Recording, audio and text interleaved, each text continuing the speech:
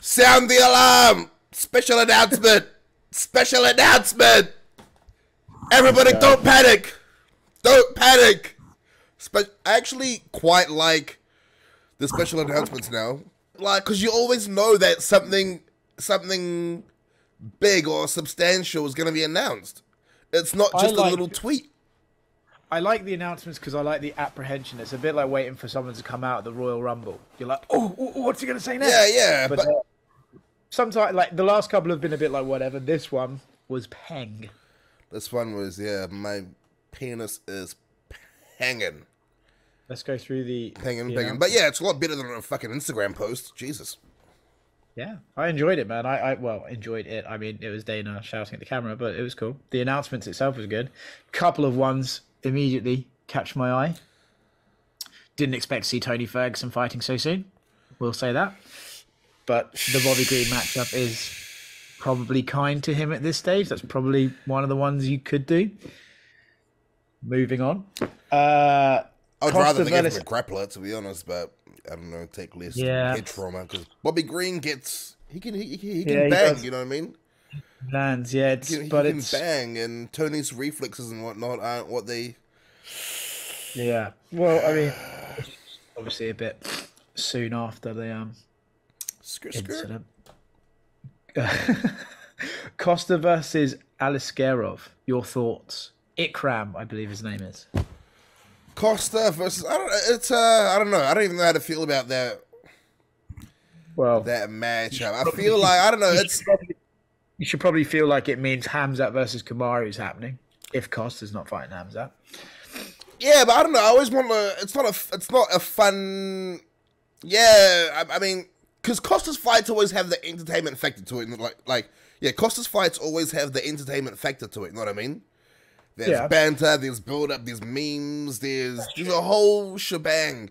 But I feel Yeah. like with this matchup, it's not gonna have that sort of element, which is what kind of makes a Costa fight fun True. and great nowadays. You know what I mean? Like the whole Vettori do- thing. I came in overweight, Yeah. but that's your fault. That like I Yeah, mean, yeah. Luke, you're an old man. Yeah, no, listen, and I get that, but I do think that like there's probably a connection there. Like this guy, Ikram was the guy that Hamza had a really tough fight with, and it's like oh, the rematch will happen. That's when they gave him the brutal uppercut knockout. Yeah. Yeah, and then maybe Costa's gonna be like, "Oh, I mistook him for Hamzat," or maybe he's gonna be like, "I'll fight this guy." You know, there's there's there's ways to have banter here, but Wait, is this guy the guy that just made his de- debut like a couple weeks ago? Yeah, yeah. He's fighting Costa now already. Shit. In Newark, yeah. He called out Bo Nickal and they gave him Paul Costa. Paulo Costa. What rank is Costa now in middleweight? I, think he, I think he might be five. He is five. Wow. I guess I guess this is the closest that we'll come to a Costa and Hamzat fight. Since Hamzat's Well, I- wrestling and Ikram's I out. Yeah, but I thought they were going to do that in October, which makes me think they must be doing the Kamaru fight because otherwise, what are you going to do with Hamzat? So What's a Kamaru fight at 170? unless Kamaru's like, "Fuck it, I'll just take one at 185," but unless Hamzat says he can get down to 170 by from now to October, you never know. Because, yeah, even uh, Jeff was in Thailand a few months ago, and they say Thailand is the new Russia because of the war. He said he ran into, like, he, like, you know, walked past Hamzat a few times, and he was looking not 170. Yeah, I mean, even if you look at his social, he looks not 170. He looks like a large man. But yeah, so that's. But I'm intrigued by that fight. I mean, if that guy beats Paulo, what a fucking like up the rankings he's gonna get. Yeah. And then we have Alex versus Jan. Okay, I'll ask you this one because I feel I feel like people don't really track these things uh, when it comes to like you know, a few weeks post fight.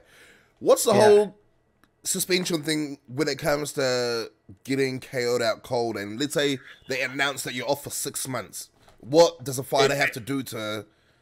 I believe what they have to they have to go to have a medical, and if that medical doctor says no, you're you're okay, like you don't have any symptoms resulting from that. So knockout, pretty much the doctor has to say that your concussion, which is the immediate effect, is over. Yeah, yeah, but I think I'm pretty sure. in Basically, you have to get cleared. You have to get cleared. Yeah. So, I think. I So mean, uh, April, May, so it was April eighth, May, June, July, but it's end of July, so what? Three and a half months. You're looking at four months, I'd say. Let's give it four months. Four but Yeah, three and a half. Yeah, it's, it's quick. It's a quick turnaround for someone who just got knocked out. Polish power. Yeah, I mean that is essentially a fight of two left hooks, which will be pretty entertaining. I think that's a fucking sick fight. I love the fight, but Sick fight. I, f- I feel like I don't know. I, f- I thought that they, would- they would give him because he didn't make the post of um Johnny Walker. Walker. yeah, You know what I mean? I thought that they would give him like a pure, a pure striker, but I, I and not wonder- someone that has. I mean, Jan put on his striking defense in the Izzy fight, and that was on full display. Because that whole Yeah. build up, we thought that Jan was just gonna come barraging in, like you know, and he made mistakes in the past and got finished, or you know, have that whole forward movement, that whole forward movement. But we saw the cerebral, calculated Jan, and the whole, like his striking defense, the way he was doing everything was just so on point. I feel like it would was I I, I don't know. They're not giving Pereira an easy, an Well, easy but then pass. If you look, if you look at Dana White's post-fight press conference comments after Johnny Walker, he's like, "Oh, Johnny Walker didn't really wow anybody." So maybe they were looking at that fight and then they kind of walked away with like Johnny Walker, or you know, he could have done more. So let's give it to Blachowicz instead. But if Johnny didn't wow anyone, the potential of Alex to wow in the performance Yeah, but- versus Johnny, I mean, yeah, but I think what's your immediate vision of how the fight plays out? I don't know. It's a good. That's I think. I think because of the knockout being so recent, I'd probably lean towards Yan. If like Alex had taken eight months off, I'd lean towards Alex probably. You know. But then again, having said that, as he showed against Israel, Yan does wrestle if he needs to. So I could also see a world where like Alex just gets kind of brutally exposed in some weird way or something. But I'm also intrigued. Like it's funny because the move up to 205, everyone's like, "Oh, Alex is going to do that." But if it's been like three months, he hasn't exactly put on a lot of size, has he? He's just going to be the same size without much of the weight. I feel like he's so big and he sucks down so much that once the fight is over, his body just fills back up to like his walk around Yeah. weight. Like he's yeah, because yeah, yeah, he doesn't he doesn't need to have a bulk up period to go back up to 205 because he just walks around at 230, 235 anyway. One thing that that is interesting to me is it's in Salt Lake, which is at ele- elevation. How many Remember how like 10,000? no, Let's have a look. Four 'Cause and a what- half? Utah elevation, 6,100 feet. yeah, that's basically what I said. You said 4,000. What was Mexico City? Because that one always sticks in my mind. It's like ten thousand. No, it's not. It's like seven thousand. It's seven thousand. Baby, it's seven thousand. 7,300 feet. Fucking what about it, cunt? Um, yeah, Geography.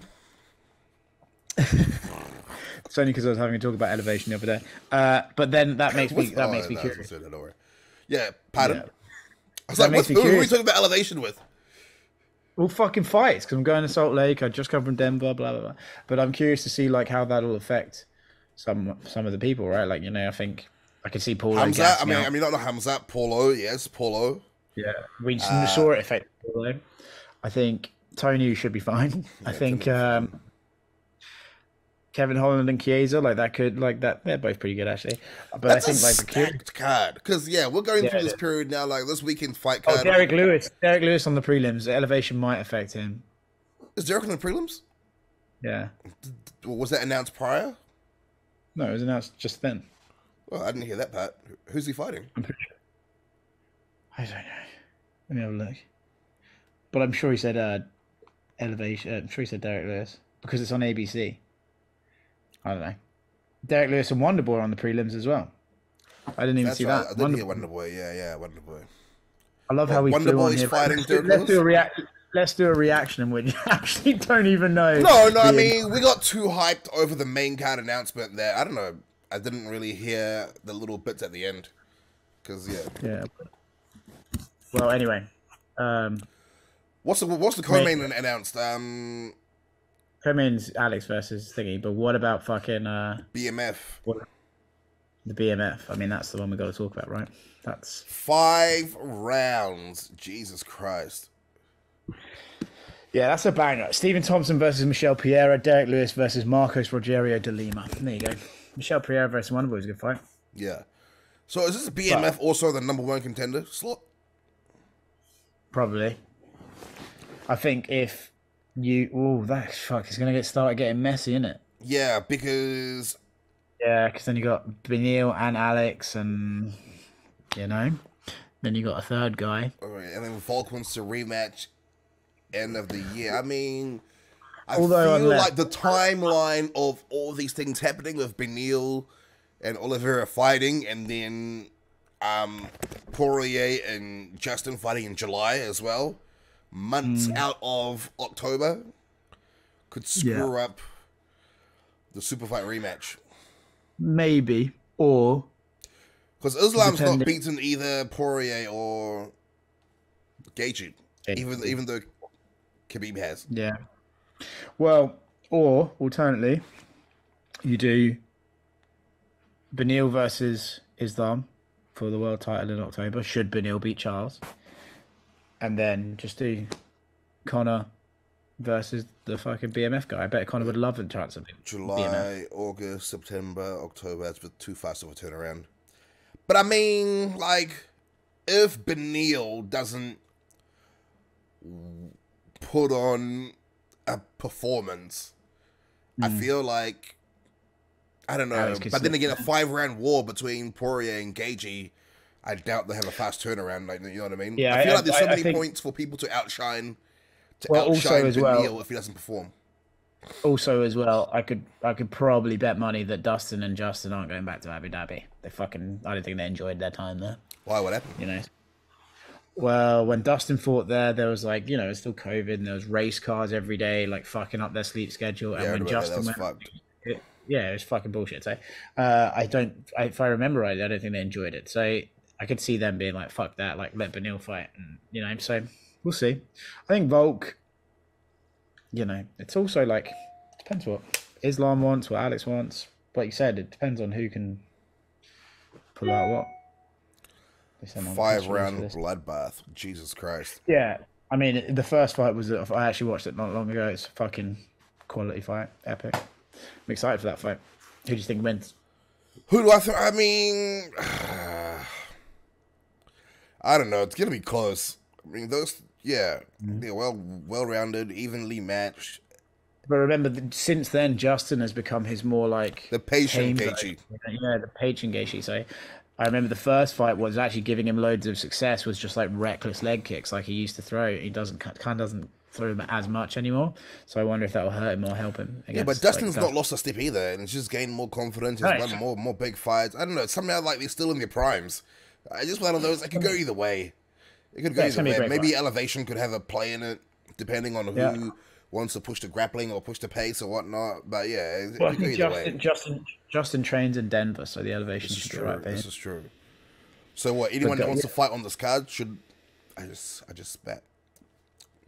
Anyone that wants to fight you- on this card should what? Do the whole camp in, in Utah. I mean, I don't know. I'm not a professional athlete. I don't know how much it affects people. But you were just talking about elevation the, the other day, weren't you? What did I do at elevation one time? I think I walked up a hill or something. Well, no, not a hill, but you know, I went. I've never, I've, I've never. You had a fight. We get it. You had a fight at sea level. No, no, no, no, no, I wasn't- No, we, we, we get it. We get it. Oh, that was at sea level. Um, but no, yeah. I think like it, they always say, right? Would you want to leave up to chance? Do you think it's cool that they're bringing the BMF belt back? For that fight, I would say yes because it's that fight. I mean, it's cool. mean, it's another when they when they announced, yeah, when they announced it, I was like, oh, clever, nice little like shoehorn it back in. I guess because I like how they were like because Masvidal's retired, not the be- the title's not going to any of the last guys who just beat him. Like you know the, the fucking three lads who beat him. We're just going to give it to these two. I thought that was quite funny. I mean, a BMF fight. I don't know. It, it, it has to be the This is a qualifying fight. I agree. yeah. So okay, uh, talking about like who else do you think could be in a qualifying BMF fight? There's about there's about Like, it's, it's a short list.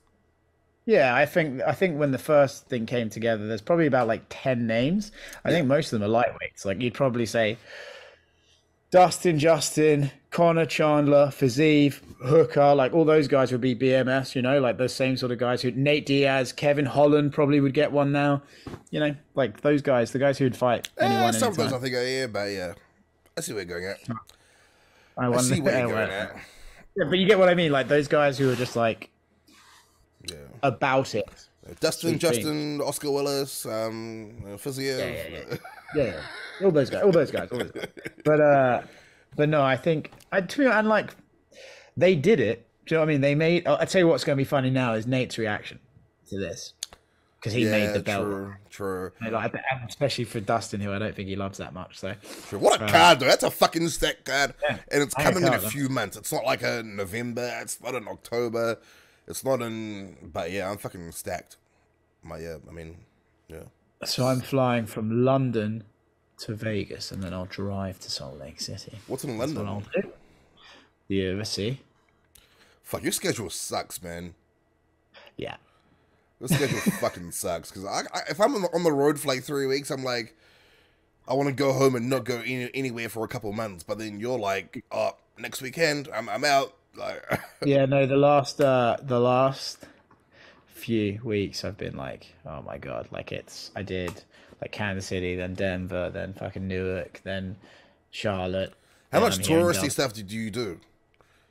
where Just whenever you go places, it's, it's touristy i don't stuff. get i think i used to try and do some touristy stuff but now it's like i just do my work and fucking sleep because i'll be tired from like so No, many times. do you zones work and then you drink yourself into oblivion well, I fucking sleep sleep. End of that. and I, I do my work and I, and I sleep. yeah yeah well, i That's the sleep biggest after lie I've fucking heard all day. I've been up for about two hours. And then the Wow. other big announcement, Mr. Fumble the Bag. Uh, oh i thought you were going to talk about sean o'malley and alj oh, yeah, that's right. I mean, oh, yeah, so fast turnaround. Um, Yeah, I mean, he was. I saw him on Saturday drinking a very flavorful pineapple juice, and he said that it would require some convincing to turn around. So I'm wondering what convincing they did, if any. they would have to pay him. They, you would assume so. I, I or, or maybe they, they might have done the old classic, just fucking announce it. Yeah, oh, I, I mean, I, I mean, that, that is their, their favorite. But see, I mean, I like Aljo's at home eating pizza. Oh, I can't wait for the announcement. Eating pizza. Oh, August, August. Yeah. I mean, that is that is But- is but- the, the, their go-to playbook. But you know, like, but it's the fight that makes sense. It's the fight that's obviously going to happen. Let's just get it done. You know, it's a good fight. Probably- Man, so what, probably- July, August. See, it's coming back now. We had a great first quarter. Like this was the best first. I guess four months because the first, yeah, four months. This is, was the Yeah. great first one third of the year that, that we've seen card booking wise, and also we had great fight nights in between there. It was like yeah, but now we just have to have to just grind through these next few weeks and whatnot, and suffer And suffer, July. suffer through that, and then we'll be back. But back to back to the hero of the MMA world, the one that we do not deserve, weight of the world on his shoulders. They called him Mr. Fumbled the Bag, but hey, the last. li- I fucked up the whole intro. Francis. I think we worked out who you were discussing. no, I'm, I'm happy for him, you know what I mean? I, I mean, I'm- This is kind of how I like. I feel about it. I think everyone's going to just think I'm a massive dick for thinking this way. what? Obviously, I'm happy for Francis to get paid, Oh, especially. you are about to say some fucked up shit right now, aren't you? Say No, it. I'm not. No, Say it. Like I'm, I'm very I happy will for him to come get through that paid. screen and fucking strangle you if you say some dumb But shit. But also, I value my enjoyment as as much as anything else. So it's like, oh, I don't get to watch him fight the people in the UFC. That's kind of lame. But I understand why he did it, and I'm happy for him to make that choice. But I'm kind of like, oh, on a personal level, I'd like to have seen some matchups that, that were still there. Because I was looking at like the people he could fight now. Like realistically, we're talking Frank Mir, Fabricio Werdum, Junior Dos Santos rematch. Roy, Roy Nelson just came out. Like these are not like, oh, these are good names. I mean, their names. Yeah, their names. I mean, Francis could fight every every week. You know what I mean? Like, Not if they're fucking paying his opponents two million quid. no, I know, I know, I know, I know. But regardless, Which, by the way, I admire that. But then I like, I look forward to the day they're like, Roy Nelson, two million. For, you know, I bet that's gonna be. what? Who who owns PFL? Uh, I don't know. But they're backed by ESPN. I, I know they, they they have like a, a bit of a a bit of a, a- yeah, they a war chest. Yeah, they have a deal. They have a deal with ESPN, and they, I think they're, they I think they're trying to spend to like push themselves up the rankings, and I think if you were to look at them as a, a promotion compared to like Bellator over the last five, three, five years, you would say that PFL has done more to like try and claim more of the market than And Bellator. what, isn't has. Bellator up, up for sale? no, that's a rumor. No confirmation. Oh, really? Yeah. Hmm. I, think, I think some random Twitter Twitter thing just. But what up. you said, how about you know, you were saying you value your enjoyment, your enjoyment, and all that, and this, that, and the third. Very selfish. Fighters are opposite way. They got to bills need to be paid. Sure. For sure, Bills need to completely be paid. I- I'm glad for. I, I think also a lot of like what happens with Francis as well, because obviously he's not going to fight until 2024. He's, he's- So- he's got a boxing match. He hasn't got it yet, but that's the thing. It's like who he boxes will, I think, determine how successful this whole thing was. Like if he gets a Fury or Joshua fight, fucking nailed it. You know. Yeah. So I th- and it's funny because it's like all those guys are supposedly like there's rumors that they're in talks to fight in December, and they're all going to want to fight. the fatal four way? Not fatal four way. Yeah, yeah, yeah, yeah. Yeah, that's the the rumor is they want to fight all in Saudi the same night. Usyk Fury, Wilder, Imagine if it, was, if it was an actual fatal four way and they all fought in the ring at the same time, fighting each other like. WWE. probably pick Wilder. Um, but I think like if uh, if they do that, they're all going to want to fight in the meantime.